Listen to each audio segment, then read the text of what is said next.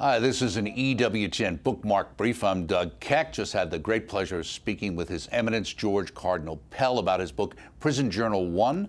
The Cardinal Makes His Appeal, published by Ignatius Press, available through the EWTN Religious Catalog. Your Eminence, tell us, what was your hope in putting this book out? Uh, well, I hoped uh, it would help uh, uh, people spiritually and religiously. But I wanted to do a number of things. Uh, to tell the story day by day of my time in jail, to recount the story of my court cases, uh, the accusations, to uh, reflect spiritually with the help of the daily breviary, uh, the scriptures, uh, and also because I got 4,000 letters, and in response to many of those letters, which touched on many topics to give my reflections on the world in which we live. Mm-hmm. And so my, hope was that this uh, mixture, uh, and especially uh, perhaps my reflections on mm-hmm. Uh, how ordinary people like myself can survive through difficult times uh, with the help of uh, Christ's message, to present that and to tell people about that, and to tell people that the Christian package, still the Catholic package, mm-hmm. still works.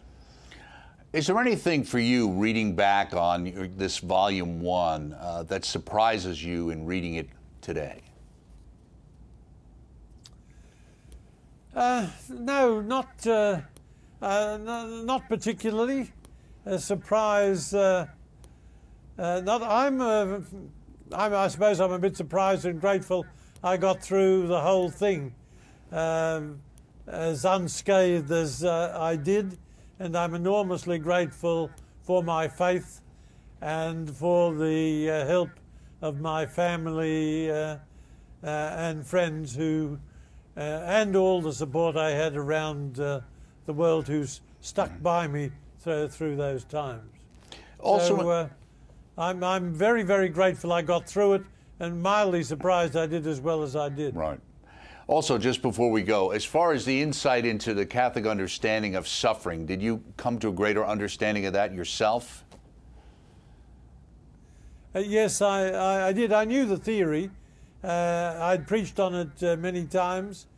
Um, uh, but it's one thing. Uh, uh, it's one thing to my mother used to say, to be with a saint in heaven is bliss and glory, to be with a saint on earth is quite another story. And uh, it's one thing to preach the word of God, it's another thing to have to live it uh, under pressure. Everybody knows that. Uh, every parent, every spouse, every adult uh, uh, knows that. And uh, this is just one account of a particular set of circumstances where I was very much helped uh, by my Catholic faith. Thank you so much, Your Eminence. It, our Catholic faith will help us all. Hopefully, been checking out this book.